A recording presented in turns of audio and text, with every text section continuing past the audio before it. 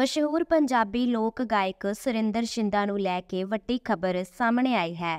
ਦੱਸ ਦਈਏ ਕਿ ਉਹਨਾਂ ਦੀ ਹਾਲਤ ਨਾਜ਼ੁਕ ਬਣੀ ਹੋਈ ਹੈ ਅਤੇ ਉਹਨਾਂ ਨੂੰ ਡੀਐਮਸੀ ਹਸਪੀਟਲ ਵਿੱਚ ਰੈਫਰ ਕਰ ਦਿੱਤਾ ਗਿਆ ਹੈ। ਬੀਤੇ ਦਿਨੀ ਉਹਨਾਂ ਦੀ ਪੇਟ ਦੀ ਸਮੱਸਿਆ ਦੇ ਚੱਲਦੇ ਗਾਇਕ ਸੁਰਿੰਦਰ ਸ਼ਿੰਦਾ ਨੂੰ ਪਹਿਲਾਂ ਮਾਡਲ ਟਾਊਨ ਦੇ ਹਸਪੀਟਲ ਵਿੱਚ, ਪਰ ਉਹਨਾਂ ਦੀ ਹਾਲਤ ਵਿੱਚ ਸੁਧਾਰ ਨਹੀਂ ਆਇਆ, ਜਿਸ ਕਰਕੇ ਹੁਣ ਉਹਨਾਂ ਨੂੰ ਡੀਐਮਸੀ ਹਸਪੀਟਲ ਦੇ ਵਿੱਚ ਰੈਫਰ ਕਰ ਦਿੱਤਾ ਗਿਆ।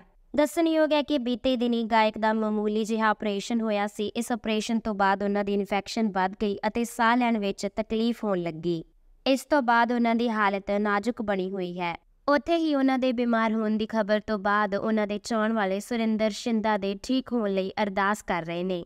ਉੱਥੇ ਹੀ ਤੁਹਾਨੂੰ ਦੱਸ ਦਈਏ, ਪੰਜਾਬੀ ਕਲਾਕਾਰ ਲਗਾਤਾਰ ਸੁਰਿੰਦਰ ਸ਼ਿੰਦਾ ਕੋਲ ਉਹਨਾਂ ਨੂੰ ਮਿਲਣ ਜਾ ਰਹੇ ਨੇ।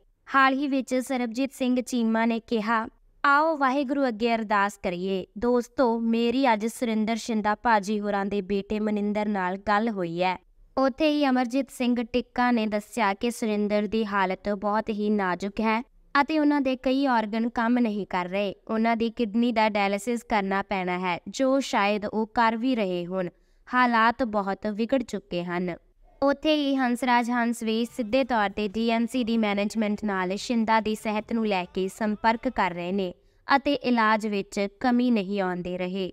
ਬਾਕੀ ਤੁਸੀਂ ਸਾਰੇ ਵੀ ਸੁਰਿੰਦਰ ਸ਼ਿੰਦਾ ਦੇ ਲਈ ਅਰਦਾਸ ਕਰਨਾ ਬਿਲਕੁਲ ਵੀ ਨਾ ਭੁੱਲਣਾ।